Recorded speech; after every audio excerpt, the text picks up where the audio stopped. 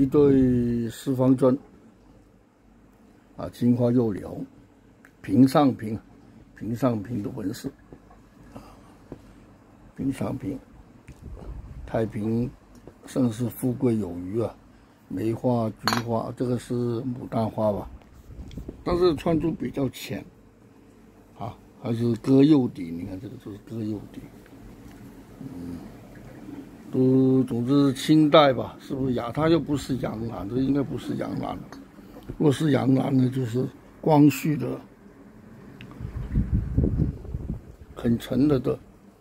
但是看到那么笨重，你看笨重的，很笨重的这个这个凸出来，这批器型也不是啊，平上平，平上开花。嗯，时间不好断，我都不敢断它。